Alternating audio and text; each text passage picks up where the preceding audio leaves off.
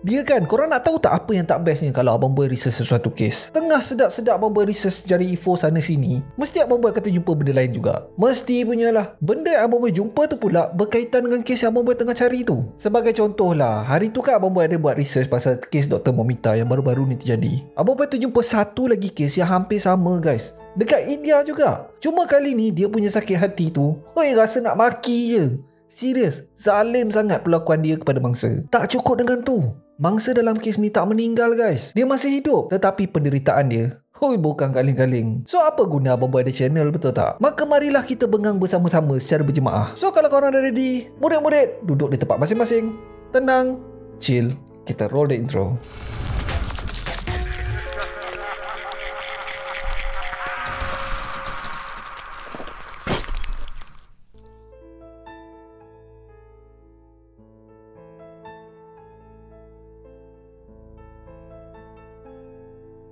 Assalamualaikum. Nama aku Bamboy dan welcome to channel Bamboy TV Di mana Abang Boy akan mengupas kes-kes true crime Kisah misteri, seram dan pelik yang terjadi di serata dunia. Dan kalau korang berminat dengan benda-benda dark macam ni Korang berada di channel yang paling sesuai Untuk orang-orang aneh dan exotic Macam Abang Boy ni.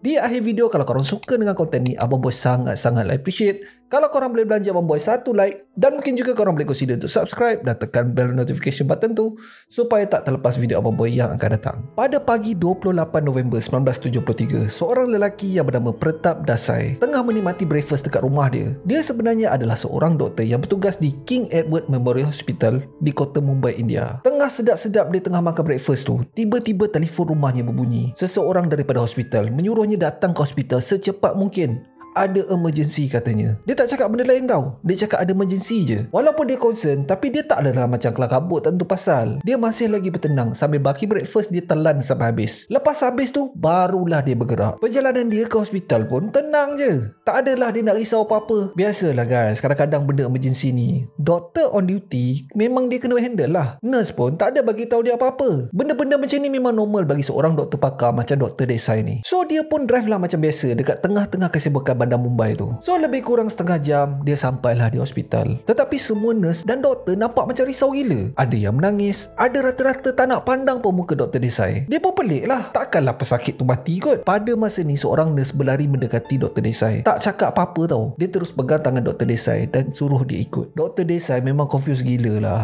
Jenuh dia tanya tapi tak ada seorang pun yang jawab pertanyaan Dr. Desai. Nurse terus membawa Dr. Desai ke bilik wad kecemasan di depan Dr. Desai. Di atas katil adalah wanita yang disayanginya dalam keadaan yang sangat-sangat menyedihkan. Muka pecah habis guys dan terdapat kecederaan di lehernya. Wanita tu adalah tunang dia, seorang nurse yang berumur 25 tahun yang bernama Aruna Ramchandra Shanberg. Melihat keadaan Aruna, Dr. Desai terus rebah. Aruna sebenarnya berada dalam vegetative state. Sayur guys. Dia tak boleh buat apa. Ini adalah kerana sebab otak Aruna ni tak menerima bekalan oksigen yang cukup. Dia tak boleh bercakap, tak boleh bergerak. Even nak melihat pun tak boleh guys. Tulang yang menghubungkan leher dengan kepala mangsa patah. Dan dia punya brainstem rosak teruk. Brainstem ni adalah saraf yang menghubungkan otak kita dengan saraf tunjang. Benda tu yang rosak tau. Terdapat tanda-tanda Aruna diserang secara gatal-gatal oleh seseorang. Walaupun Aruna masih bernafas, sekali imbas, tak adalah langsung tanda-tanda seorang wanita yang ceria seperti dulu. Semua doktor yang melihat keadaan Aruna, termasuklah tunangnya sendiri iaitu Dr. Desai. Aruna memang tak ada harapan untuk hidup. Kalaulah dia hidup pun, dia tak boleh hidup macam manusia normal dah. So apa yang terjadi sebenarnya? Kalau nak ikutkan, baru semalam je Dr. Desa jumpa dengan si Aruna ni. Aruna Ramchandra Schaumburg dilahirkan pada tahun 1948 di dalam sebuah keluarga yang agak senang jugalah. Dia adalah daripada kasta Konkani Brahmin di Haldipur, daerah utara Kanada di barat India. Dia adalah anak ketiga dalam keluarga yang besar. Bayangkanlah, dia ada sembilan lagi orang adik-beradik guys. Seorang lagi dah cukup tim bola lah. Memang daripada kecil pun Aruna ni adalah seorang yang sangat-sangat mengambil berat tentang tentang orang lain. Dia ni jenis tak kisah dia tak makan asalkan kawan dia kenyang. Ha, jenis macam tu. Dah lah penyayang. Aruna ni pula pandai dekat sekolah. Dia antara adik-beradik dia, hanya dia seorang je tamat persekolahan. Elok je lepas tamat sekolah, dia terus berpindah ke kota Mumbai untuk mencari peluang pekerjaan. Memang impian dia daripada kecil, dia nak jadi seorang nurse. So, dia datang ke kota Mumbai tu untuk menghadiri exam dalam bidang kejururawatan. Pada masa tu, kalau pas exam, dah boleh terus jadi nurse dah. Disebabkan si Aruna ni bijak, memang dia lulus lah. Dia telah memulakan pekerjaan sebagai junior nurse almost immediately di King Edward Memorial Hospital 15 Februari 1966. Tak ambil masa lama pun geng. Dalam masa setahun je, dia terus diserap masuk menjadi nurse permanent. Dan selepas 3 tahun pula, dia diserap masuk di bahagian neurosurgery. Benda ni bukan senang tau. Bukan kali-kali nak jadi nurse bahagian ni. Knowledge memang kena padu gila lah. Aruna menjadi orang yang sangat-sangat diharapkan oleh doktor-doktor ni semua. Setiap kali ada operation je, memang Aruna lah yang doktor-doktor ni akan cari untuk membantu. Beberapa tahun kemudian, Aruna sekali lagi dipindahkan ke unit veterinary. Dia menolong doktor-doktor untuk perform pembedahan untuk binatang pula. Selalunya anjing-anjing lah. Bukan hanya anjing pet je tau ada beberapa binatang yang disimpan untuk kegunaan eksperimen ubat-ubat. Lagilah best. Aruna dah tak perlu jadi jururawat pesakit yang banyak komplain dah. Sekarang ni dia handle binatang saja. Dia buat kerja dengan penuh cermat dan dedikasi. Sampailah pada awal tahun 1971, Aruna telah bertemu dengan seorang doktor kacak yang bernama Dr. Pratap Desai. Pada masa tu, Dr. Desai bertugas sebagai doktor pelatih di unit veterinary tu. Ayat. Punya ayat jatuh cinta pula diorang berdua. Dan selepas di Dr. Desai ni tampak tepuh residensi pada tahun 1973, dia terus nak jadi kat Aruna ni sebagai isteri dia. Diorang berdua plan nak kahwin pada hujung tahun tu. Masing-masing sibuk kumpul duit ni. Dan Dr. Desa ni pun dah siap beli rumah untuk diorang tinggal bersama. Lagi sebulan je diorang nak mengikat tali perkahwinan. Tetapi malang menimpa kepada kekasih hatinya. Obviously lah polis telah dihubungi. Dah tak sampai 24 jam, polis telah berjaya membekas seorang lelaki yang juga seorang tukang cuci dekat hospital tu. Lelaki tu bernama Sohanlal Barta Valmiki. Dalam masa sesi soal siasat, selama berjam-jam, polis percaya diorang dah dapat dah pelaku jerih kejam tu. Benda ni adalah berdasarkan pengakuan suspek sendiri. Tak ada saksi pun yang tahu apa yang terjadi pada malam sebelum tu. Yelah geng, mana nak ada CCTV? Tempat kejadian pun adalah di basement hospital tu tak ada seorang pun ada pada masa tu. So apa yang terjadi adalah pada malam tu lebih kurang pukul 10 malam, Aruna pergi ke lokernya untuk menukar baju. Loker room pula terletak dekat basement hospital tu. Dekat basement tu, orang simpan sangka-sangka anjing, binatang-binatang lain dah. Kebetulan Sohanlal baru je masuk shift dia. So menurut Sohanlal, dia pergi berjumpa dengan Aruna ni untuk meminta kebenaran balik awal disebabkan ibu mertuanya sakit dekat kampung. Dia dan wife dia berhajat nak pergi menziarah lah. Memandangkan Aruna adalah ketua nurse yang bertugas, hanya Aruna je yang boleh sign surat pelepasan. Tetapi menurut Sohalal, Aruna ni tak bagi dia balik awal. Dia suruh pula si Sohalal ni habiskan kerja dulu. Yelah geng, kebetulan Sohalal seorang je ada pada malam tu. Binatang dekat dalam sangka tak bagi makan lagi. Najis diorang tak dibersihkan lagi. Kalau Sohalal tak buat, siapa lagi? Huh, besok berbau dekat bilik bawah tanah tu tau. Dah lah baru masuk shift. Takkan nak balik terus. Dan si Sohalan ni pula, dah diketahui dia memang takut anjing. Menurutnya, Aruna tahu pasal ni. Tetapi Aruna berdegim menyuruh Sohalal bersihkan kandang tu juga. Menurutnya lagi, Aruna ni memang kuat membulinya. Walaupun ada orang lain yang boleh ditugaskan, Aruna ni masih cari Sohalal juga untuk buat. Dia mengatakan yang dia pernah buat aduan dekat pihak atasan tetapi tak ada siapa pun ambil peduli. Yelah, siapalah nak dengar cakap cleaner kan. So ceritanya, si Sohalal ni memang dah lama berbulu dengan si Aruna ni ni. Dah lah selalu bully dia. Surat cuti pula si Aruna ni tak nak sign. Aruna dikatakan siap ugut untuk membuat aduan dekat pihak atasan kalau Sohalan ni balik awal pada malam tu. Dia tuduh si Sohalan ni mencuri makanan anjing lah, selalu curi barang hospital lah dan jual dekat luar. Sohalan ni pula adalah pekerja kontrak je. Bukan pekerja tetap pun. Yelah geng, tukang cuci je. Dah lah keluarga dia, ni miskin. Kena ugut pula tu. Yang ugut dia pula perempuan. Lagi bernanah lah hati dia. So Hala tu cakap, engkau pun bukannya baik sangat. Aku selalu nampak engkau berjudi dengan staf-staf lain pada waktu bekerja. Dia boleh ugut pula si Aruna ni. Dia nak komplain pasal Aruna selalu mengular pada waktu kerja. Dia saya cakap lagi si Aruna ni berskandal dengan lelaki lain pula. Dah terjadilah pergaduhan pada masa tu. Mula-mula tu setakat menjerit-jerit je. Lama-lama terus naik tangan. Si Sohalal ni pergi belasahnya Aruna ni kau-kau. Yelah geng, kedekat lelaki kot. Bersepai muka Aruna kena tinju. Aruna terus tak sedarkan diri. Korang bayangkanlah. Diorang berdua start gaduh daripada pukul 10 tau. Sampai nak pukul 11.30. Pada masa ni hanya diorang berdua je ada kat basement tu. Tak ada orang lain. Menjeritlah skuad mana pun. Tak ada siapa yang dengar. Melihat keadaan Aruna tak sedarkan diri. So halal tak puas hati lagi geng. Dia ambil kolat anjing dan letakkan kolat tu di leher Aruna. Dengan tujuan untuk mencekohnya. Bila dia dah yakin Aruna ni tak lagi bernyawa. Dia menanggalkan semua pakaian Aruna dan mengambil semua barang kemasnya sebelum belah daripada tempat kejadian. So halal Malas masa di soal siasat, mati-mati tak mengaku melakukan serangan gatal-gatal kepada Aruna. Walaupun bukti yang polis jumpa menjurus ke arah tu tau. Siap ada cecair badan lagi kot. Tetapi korang kena ingat, pada masa ni tahun 1973, teknologi forensik profiling DNA belum ada lagi tau. Sedikit trivia. Teknologi DNA diperkenalkan kepada umum pada tahun 1973. Pada masa ni, dia dipanggil recombinant DNA. Ujian dijalankan bukan untuk mengenal pasti pesalah pun. Pada masa tu, kajian dijalankan untuk mengenal pasti jin untuk improve kehidupan. Teknologi ni banyak digunakan dalam tanaman. Cuba korang fikir, daripada mana datang macam-macam jenis durian? Durian D24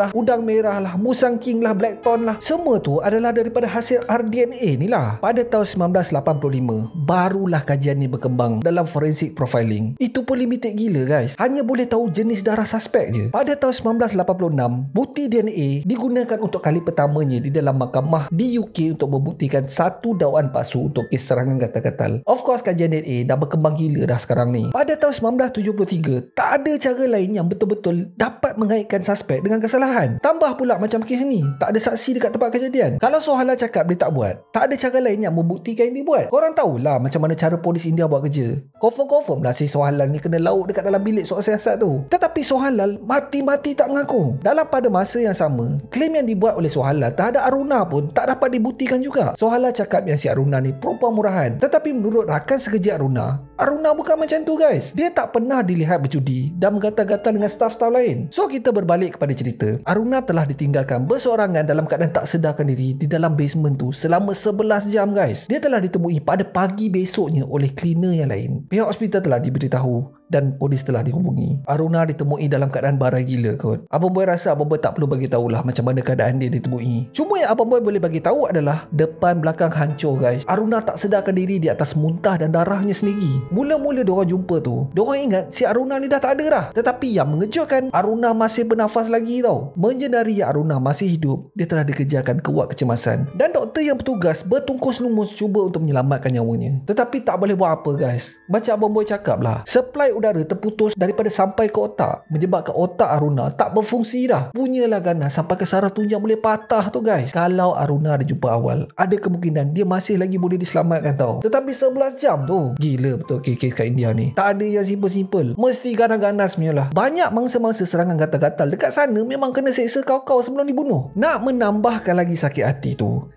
Kejadian ni terjadi pada tahun 1970-an tau. Keluarga Aruna tak nak kes ni dihebohkan disebabkan boleh membawa malu kepada keluarga. Korang boleh brain tak? Anak diorang diperlakukan seperti binatang kot. Tetapi diorang nak menjaga air muka. Diorang tak nak file langsung report yang mangsa telah diserang secara gatal-gatal. So sekarang ni yang bertanggungjawab untuk membuat dakwaan serangan gatal-gatal tu telah diserahkan kepada pihak hospital. Disebabkan benda ni terjadi di dalam hospital dan dilakukan oleh kaki tangan hospital. Dan mangsa pula masih hidup. So atas alasan tak nak memalukan keluarga Aruna, pihak hospital hanya filekan dakwaan merompak sahaja. Merompak je geng. Hei, panahnya aku.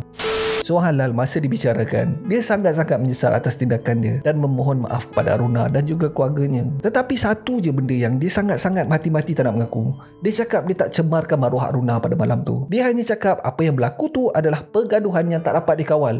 Itu saja. Mungkin selepas dia meninggalkan Aruna yang tak sedarkan diri tu, ada orang lain yang melakukan serangan. Kalau nak diikutkan lah, polis tak nak lego kes ni macam tu aja. Tetapi kalau serangan gatal-gatal tu tak boleh nak didakwa, apa lagi yang tinggal? Serangan pintu belakang lah. Tetapi itu pun cannot juga guys. Semua ni disebabkan pada masa tu, serangan pintu belakang bukan satu kesalahan dalam undang-undang India tau. Tak ada peruntukan apa-apa dalam undang-undang untuk mendakwa OKT atas kesalahan menyerang belakang. So penyudahnya, itu jelah tuduhan Suhalal serangan mencederakan orang dan juga tuduhan merompak. Itu sahaja. Nak menambahkan lagi sakit hati, Sohala telah didapati bersalah atas kedua tuduhan tu. Itu tak apa lagi.